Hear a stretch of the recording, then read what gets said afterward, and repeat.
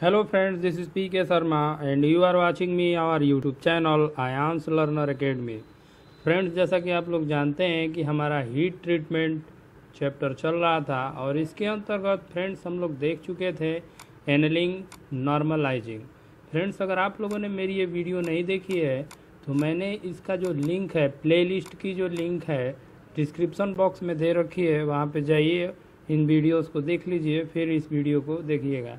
Friends, normalising की जो video है, इसका लिंक आपको आई कार्ड में भी मिल जाएगा।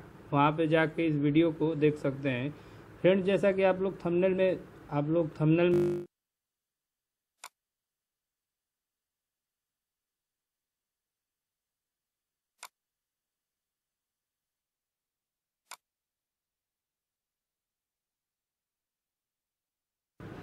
process of hardening hardening की प्रक्रिया कैसे की जाती है? तो फ्रेंड्स, बिना देर किए हुए वीडियो को शुरू करते हैं।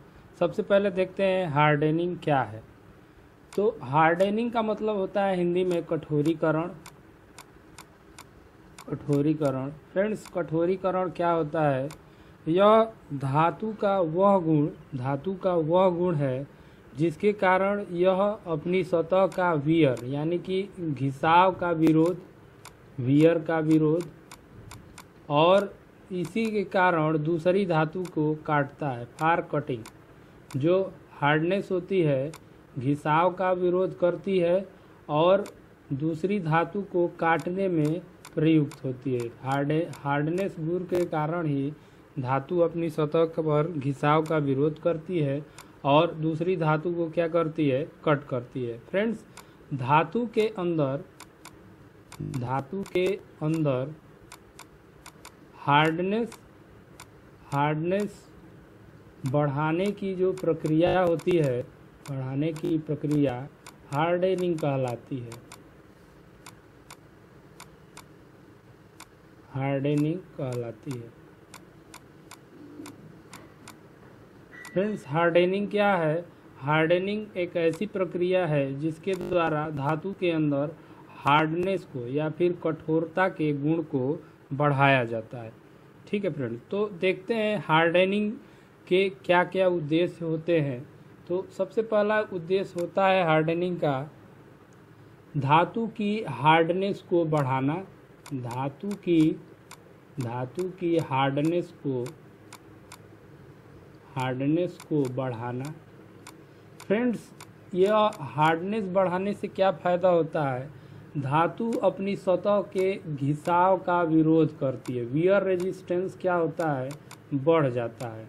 हार्डनेस बढ़ाने से धातु का जो वियर रेजिस्टेंस है, वो बढ़ जाता है। दूसरा है, धातु के अंदर कटिंग एबिलिटी को बढ़ाना कटिंग कटिंग एबिलिटी मतलब काटने के गुण को बढ़ाना।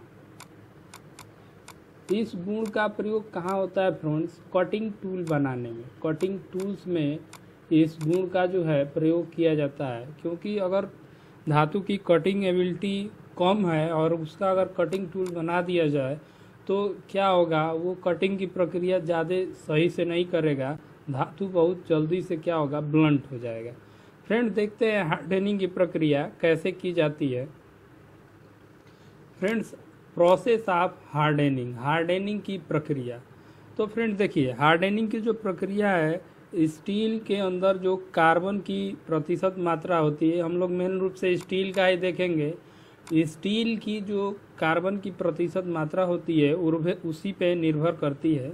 आपको ये देखिए हार्डनिंग की रेंज दिखाई गई है। हार्डनिंग करने के लिए सबसे पहले क्या करेंगे? आपको बताया गया था कि उष्मा उपचार के तीन चरण होते हैं हीटिंग सोकिंग और कूलिंग तो हीटिंग के दौरान क्या करेंगे, जो हाइपोयूटेक्टाइड स्टील होगी, उसको उसके अपर क्रिटिकल तापमान से अपर क्रिटिकल टेम्परेचर से 30 से 50 डिग्री सेंटीग्रेड ऊपर गर्म करेंगे। किसके लिए फ्रेंड्स हाइपोयूटेक्टाइड स्टील के लिए हाइपोयूटेक्टाइड स्टील के लिए। कितना गर्म करेंगे? उसके अपर क्रिटिकल तापमान से 30 से 50 डिग्री सेंटीग्रेड ऊपर। फ्रेंड्स अगर आपकी स्टील जो है हाइपर यूटेक्टाइड स्टील है, यानी कि उसमें कार्बन की प्रतिशत मात्रा 0.8 परसेंट से ज़्यादा है तो उस स्टील को उसके लोअर क्रिटिकल टेम्परेचर से 30 से 50 डिग्री सेंटीग्रेड ऊपर गर्म किया जाएगा। ठीक है फ्रेंड्स क्या करेंगे? एक बार और से देख लीजिए। हाइपो हाइपोयूटेक्टाइड स्टील है तो उसको अपर क्रिटिकल टेम्परेचर से 30 से 50 डिग्री सेंटीग्रेड ऊपर गर्म किया जाएगा। यदि हाइपर यूटेक्टाइड स्टील है हाइपर यूटेक्टाइड स्टील है तो उसको उसके लोअर क्रिटिकल ये जो है सात सौ तेईस डिग्री जो होता है, सबका लोअर क्रिटिकल टेम्परेचर होता है, उससे 30 से 50 डिग्री सेंटीग्रेड ऊपर किया जाएगा और कुछ देर के लिए होल्ड किया जाएगा। होल्ड आफ्टर सम टाइम जिससे कि आपका क्या होता है, उसका जो माइक्रो स्ट्रक्चर है स्टील का, वो परिवर्तित हो जाए। उसके बाद क्या करेंगे, उसकी क्वेंचिंग करेंगे क्वेंचिंग या फिर कूलिंग करेंगे क्वेंचिंग करेंगे। क्विक कूलिंग की जाएगी। क्विक कूलिंग को आपको बताया गया था कि क्विक कूलिंग को हम लोग क्वेंचिंग कहते हैं। ठीक है फ्रेंड्स तो क्वेंचिंग की जाएगी। क्वेंचिंग के लिए हम अलग अलग मीडिया का इस्तेमाल करते हैं, जिसे हम लोग क्वेंचिंग मीडिया कहते हैं। क्वेंचिंग प्रक्रिया के लिए अलग अलग जो मीडिया है, इस्तेमाल की जाती है, उसे हम लोग क्या कहते हैं? क्वेंचिंग मीडिया कहते हैं। अब देखिए फ्रेंड्स हार्डेनिंग की प्रक्रिया में होता क्या है? जब हम लोग धातु को गर्म करते हैं तो धातु आस्टेनाइट में आस्टेनाइट में परिवर्तित हो जाती है। और जब क्विक कूलिंग होती है, आपको बताया गया था कि जब आस्टेनाइट स्ट्रक्चर वाली स्टील की क्विक कूलिंग की जाती है तो वो मार्टेन साइट में परिवर्तित हो जाती है। आप जानते हैं कि मार्टेन साइट क्या होता है? बहुत ही हार्ड और ब्रिटल संरचना होती है। जिस, यह इतना हार्ड होती है कि यह किसी अन्य मेटल को भी काट सकती है। हार्ड और ब्रिटल हमें क्या करना है? हार्ड करना भी है तो हार्ड और ब्रिटल आपकी धातु हो जाती है। ठीक है फ्रेंड्स तो देखिए फ्रेंड्स विभिन्न क्वेंचिंग मीडिया में हम धातु को जब गर्म करते हैं तो उसका इफ़ेक्ट भी अलग अलग होता है। देखिए, जैसे अगर क्वेंचिंग मीडिया अगर आपका वाटर है तो स्ट्रक्चर जो बनेगा, वो मार्टिन साइड बनेगा। उसकी अल्टीमेट टेंसाइल स्ट्रेंथ 1750 रहेगी। परसेंटेज एलोंगेशन बहुत कम होगा। परसेंटेज रिजक्शन इन एरिया भी बहुत कम होगा। और राकवेल हार्डनेस जो होगा, उसका पैंसठ हो जाएगा। अगर ऑयल में क्वेंचिंग की जाती है तो very fine pearlite structure प्राप्त होगा। और उसकी टेंसाइल स्ट्रेंथ क्या होगी? देखिए, कम हो जाएगी। जैसे जैसे टेंसाइल की स्ट्रेंथ कम होगी, आपकी हार्डनेस क्या होगी? बढ़ती जाएगी। ठीक है फ्रेंड्स?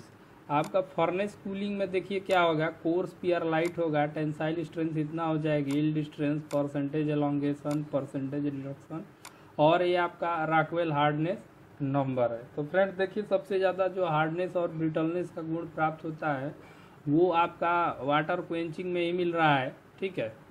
तो तो फ्रेंड्स हार्डनिंग प्रोसेस में फ़िलहाल इतना ही था। आज की वीडियो में भी फ़िलहाल इतना ही। उम्मीद करता हूँ आपको ये वीडियो अच्छी लगी होगी। वीडियो अच्छी लगी है तो इसे लाइक करिए, अपने दोस्तों के साथ अधिक से अधिक शेयर करिए। और यदि आप मेरे चैनल पर नए हैं तो चैनल को सब्सक्राइब कर लीजिए। Thanks for watching this video.